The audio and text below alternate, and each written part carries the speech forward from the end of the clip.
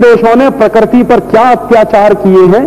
इन्होंने अपने सभ्यता के लिए, अपने को स्मार्ट बनाने के लिए, अपने को ज़्यादा प्रोग्रेसिव बनाने के लिए सबसे ज़्यादा सत्यानाश किया है जंगलों का। और जंगल इन्होंने क्यों काटे हैं? टॉयलेट पेपर बनाने के लिए। आप इस बात की गंभीरता को समझिए कि हम हिंदुस्तानी कितने ऊँचे हैं और यूरोप अमेरिका वाले कितने नीचे हैं।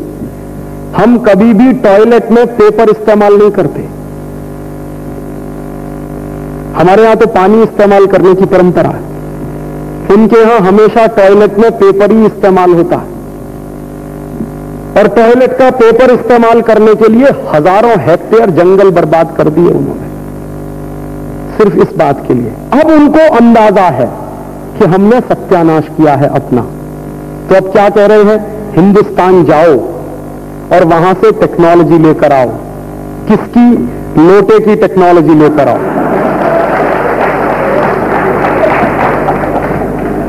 इसको आप मज़ाक में मत लीजिए। ये मैं बहुत गंभीर बात आपसे कह रहा हूँ। ये हमारा ही देश है। जो हमारे पास वो टेक्नोलॉजी है। उनके पास नहीं है। वो जानते ही नहीं। कि पानी का क्या इस्तेमाल करते हैं टॉयलेट में? वो जानते नहीं। उनकी प्रॉब्लम है ये।